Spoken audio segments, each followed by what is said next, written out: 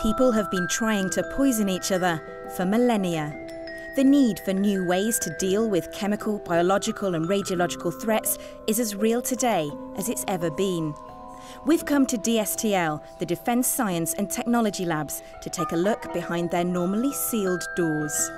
I step inside the suits scientists use to work on the most deadly substances known to man and discover brand new research which could save personnel from an infectious disease that's plagued the military for decades. The containment labs at DSTL are laid out in a circle, a kind of onion of safety, if you will, with level 2 labs on the outside for less serious pathogens and level 3 and 4 labs in the centre where they work on the really nasty stuff. And this is our high containment facility. So this is where we handle our most hazardous pathogens. Um, and as you can see, lots of doors, and that's because we're controlling the airflow now. Um, and essentially we're pumping air out through filtration systems to make sure nothing from inside this laboratory can, can get outside because obviously we're handling hazardous pathogens.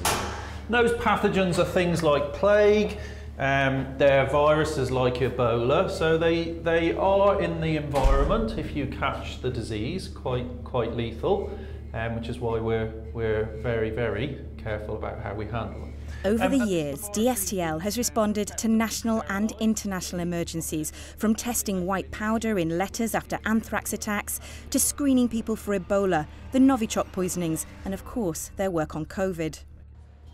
Everything they do aims to keep military and civilians safe, preventing and deterring adversaries from using chemical, biological, and radiological weapons, and giving our forces advantage over the enemy. Can you come, Hannah?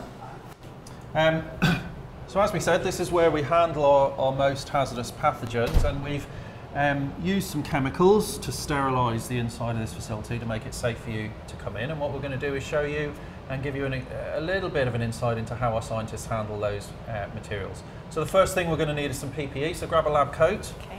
Um, and you need to put that on and button it up for me. And this is yellow, is that important? Um, yellow for us in this facility is level three. Um, so things at level three are pathogens like plague um, and anthrax. It would be red if we were in level four. And level four uh, is things like Ebola um, and Marburg virus.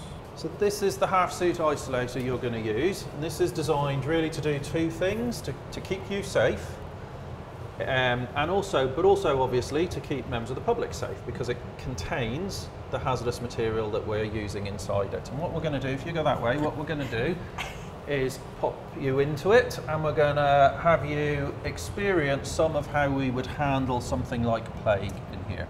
Okay. The scientists who work in these high containment labs are specialists and must have at least two years' experience working with less hazardous pathogens. Tim's letting me have a go to show how difficult their work really is. Body up inside that suit. So I've been here over 20 years. When I started, the use of chemical weapons, for example, was something which was consigned to history, and I had to make quite a lot of historical arguments in order to um, articulate to people why it was important uh, to defend against chemical weapons. Unfortunately, that is not the case anymore. We have seen use of chemical weapons um, in our lifetimes, uh, and allegedly, you know, quite close to home. The first thing we need to do is get the equipment that we're going to use inside the isolator. So what you need to do is open this door and there are a number of locks on the door, that's right. So open all of those, that's it. And open the door, other way, no, that's it.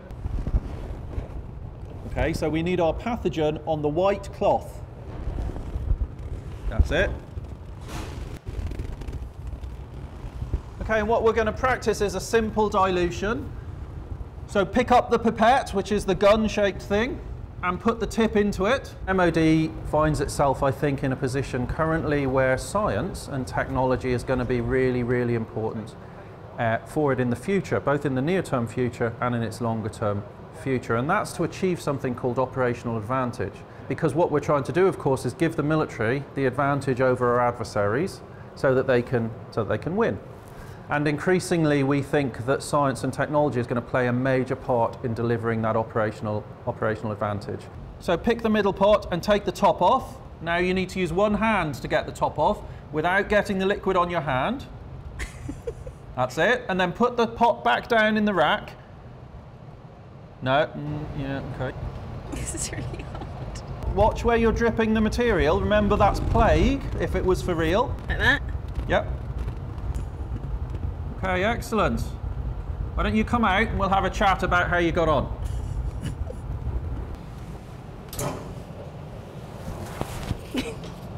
so it's difficult, isn't I'm it? sure there's a really elegant way to do that if you're used to it. Okay, how was that? It's hard. A, a good first go, okay, but you have to imagine that's plague, and the aim here is is not to contaminate the inside of the containment system or to get it on your hands. Okay? Yeah.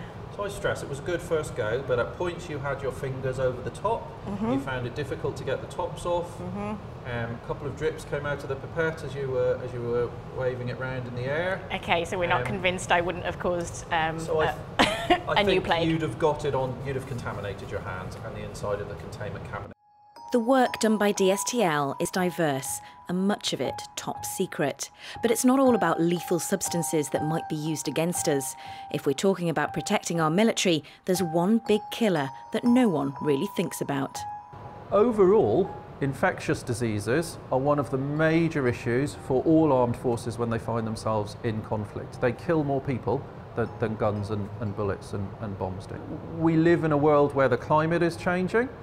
Um, and we know that that's having an impact on infectious diseases. So, about half of all infectious diseases are likely to be made worse by climate change. Why is global warming having that impact? Well, that, that's quite a complex answer, but to keep it simple, it depends on the pathogen. But one of the reasons for that is that as global warming happens, it allows vectors, so in particular mosquitoes, to survive in areas that they didn't survive before, and then they're responsible for transmitting disease to humans. And, that, and that's the case, I think, for malaria and also for dengue. For decades, scientists have been looking for a cure for a disease called Q fever. It's caught by breathing dust from the feces of infected animals and occurs all over the world, particularly in places like Iraq and Afghanistan. In most cases, symptoms are mild, but some are left in a debilitating condition and have to be medically discharged from the military. DSTL have been working closely with Defence Medical Services to try and find a solution, and Kat, one of their youngest scientists, has been working on it. Okay, so tell me what we're looking at here. What is this? So, Q fever is a disease and it's caused by a bacteria called Coxiella burnetii. Um, so, here this is a microscope image, and if we look closely, you can see highlighted in red these are the bacteria within cells. The work so far has found a new version of antibiotics to use on Q fever, and it's already helping treat service personnel who contract the disease. But research is continuing. Recently, Kat's been using this bit of kit. It's a kind of drug robot. Scientists fire existing drugs at it, and it analyses each one's effectiveness against the bacterial cells that cause Q fever. It does it far quicker than a human, and it's shown some intriguing results. We've been using this robot to test thousands of drugs, and one of the most interesting things that we found is that anti inflammatory drugs, so things like ibuprofen and aspirin, seem to have a killing effect on the bacteria, which is unusual because these are drugs that we used for headaches, for fevers, and they work on the host. And there's potential for this to be used in the future um, as a possible uh, therapy combined with antibiotics. That's really exciting. Yeah. Whether it's finding something as simple as ibuprofen might work on Q fever or investigating deadly chemicals and pathogens that could be used against us, the work in these labs is crucial, even if much of it cannot be discussed. I wish, in a way, that that I could explain all of the great S&T that we do. Through my career, I've seen um, national emergencies where our staff have have simply given everything that they possibly could do um, to support those national those national responses, and I'm really proud of them. Absolutely. Hannah King, BFBS Forces News, DSTL Porton Down, Salisbury. Thanks for watching. For more from Forces News, like and subscribe to our channel.